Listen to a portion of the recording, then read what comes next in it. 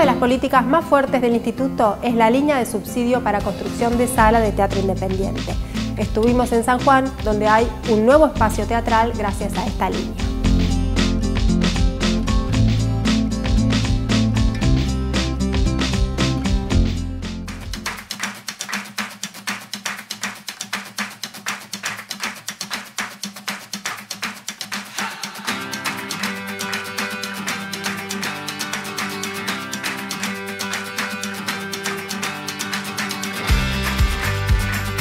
Hoy día he asistido a un evento que para mí es histórico en lo que sería la actividad teatral sanjuanina.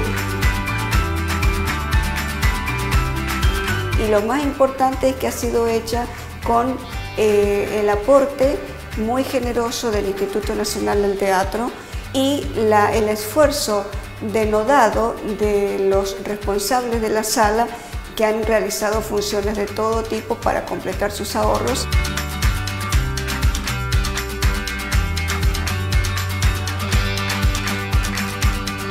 Representante me siento orgullosa en la humilde parte que me toca, que es eh, haber podido colaborar con gente muy responsable como es la compañía de David Gardino.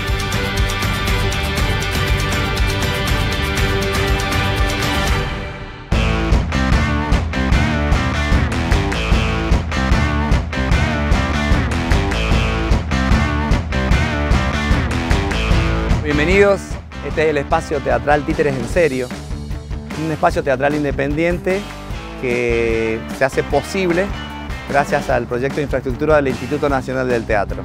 Compramos esta casa pensando en esto hace muchos años, por lo menos estamos hablando del 2011.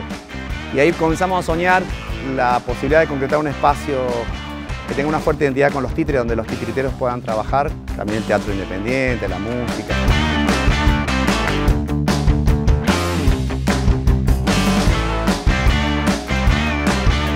Muy contentos de llegar al final de este sueño, de haber empezado este sueño hace más de cinco años, cuando compramos este, esta casa y vimos este terreno tan grande y dijimos, bueno, acá podemos hacer realidad el sueño de la sala.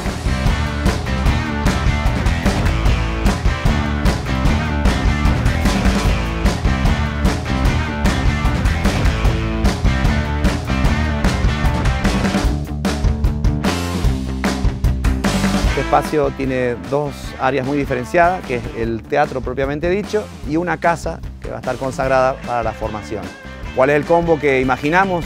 Que artistas vienen, dan una clínica, un workshop y hacen funciones. En esa conjugación hay una, una convocatoria, un movimiento público mucho más interesante, los que se involucran o los que ven el espectáculo y quieren participar después de un workshop. Y eso creo que es transformador porque cada uno que venga va a dejar una huella, una impronta en la cultura sanjuanina en nuestro caso.